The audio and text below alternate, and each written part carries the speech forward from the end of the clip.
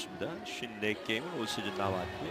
6승 11홀드 2.88의 기록을 올리고 있는 서진용 선수가 동점 상황 마운드를 이어갔습니다. 자, 이번 주 목요일 날 올라와서 또 하나의 세이브를 그렇죠. 추가를 했었죠. 네. 실질적으로 지금 마무리 역할을 하고 있는 서진용 선수고요. 환승되는 것 같아요.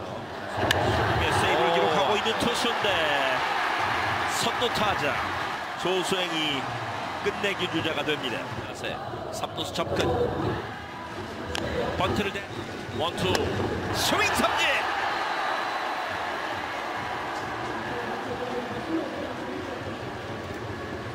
박세혁이 삼진으로 물러나면서 조수행이 1루에 묶입니다.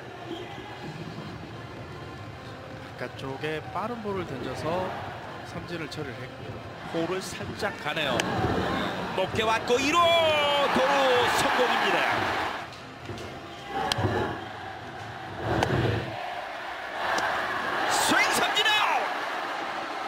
중요한 아웃 카운트를 3주로 잡아내고 있는 서진용입니다. 이제 투아웃. 가장 많이 던지는 이 포크볼 위력적이죠. 네, 결국은 나쁜 볼을 좀 제어할 줄 알고 지금처럼 조금 높게 왔을 때는 이 포크볼을 딱 잡아내야 되는데 아직까지 김대한 선수가 조금 더 시간이 필요하겠죠. 투아웃 2루. 왼쪽 짧은 타구 잡혀요. 오늘 경기 라가레스가 연장으로 끌고 갑니다. 허경민의 안타성 타구가 라가레스에게 잡히면서 오늘 경기 4대 4에서 10회로 갑니다. 자, 대단한 기록도 세웠고 그렇습니다. 대단한 여섯 개 스윙 정수빈 예측을 하고 돌렸는데 공이 맞지 않았습니다. 서준영이 올라와서 세 번째 삼진을 잡아냅니다.